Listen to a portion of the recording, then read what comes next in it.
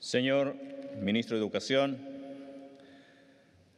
señor Gobernador Regional de Ayacucho, señor Congresista, un abrazo enorme a la juventud, señor Presidente del Comité Olímpico Peruano, señor Presidente del Instituto Peruano de Deporte, jóvenes atletas, jóvenes deportistas, queridos compañeros, queridos hermanos. Muy buenos días, bienvenidos a su casa. Hoy es un día festivo acá en Palacio de Gobierno, que es la casa de todos, sin excepción. Me siento honrado, me siento emocionado al recibir a este número de atletas de distintas disciplinas deportivas y también a las autoridades con quienes se hizo un esfuerzo conjunto para lograr que los próximos Juegos Bolivarianos 2024, Bicentenario, se realice en la ciudad de Ayacucho.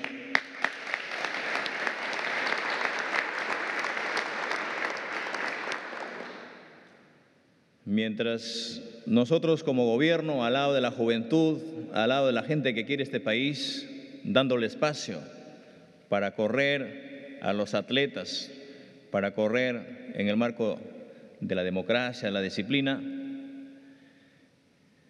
no podemos detenernos, no podemos retroceder, porque Perú necesita mucho de sus hijos. En mi condición de presidente de la República, entregué el pasado 14 de mayo las cartas de garantías en el que ratificamos como gobierno nuestro total apoyo a la promoción del deporte pero también a la promoción turística de la valerosa región de Ayacucho.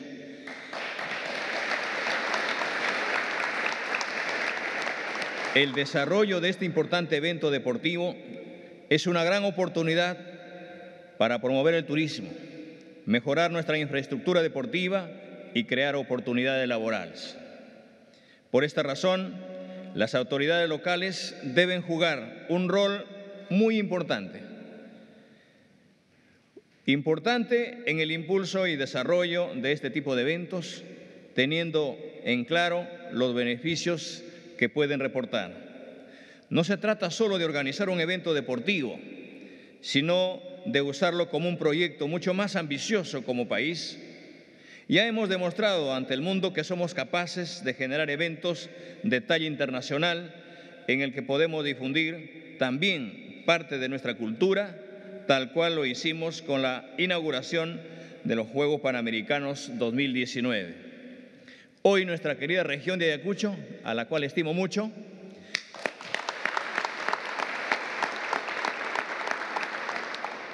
esta tierra de la resistencia de Cangallo en la guerra por la independencia, se prepara para este gran evento deportivo que tendrá una duración de 11 días y albergará a más de 2.000 deportistas internacionales y nacionales. Además, este acontecimiento dinamizará la economía regional y pondrá aguamanga en los ojos de Latinoamérica y del mundo. Es importante recordar que la primera edición de los Juegos Bolivarianos se dispuso, se disputó en el año 1932 durante el cuarto centenario de la fundación de la ciudad de Bogotá. Ya hemos demostrado al mundo que tenemos la capacidad de organizar eventos deportivos de nivel mundial. demostremos ahora que somos capaces de lograr en todo un país y mucho más hablando del deporte. Tenemos grandes deportistas en el país que nos han dado muchas alegrías y son ejemplo para incentivar y para encaminar el desarrollo juntamente con la niñez y la juventud y tener buenas personas notables, no solamente en el marco del deporte, sino también en el marco de la política, en el marco de la ciencia, como es nuestro ministro de Ambiente, que el día de hoy lo tenemos al doctor Montoya. Un abrazo, doctor.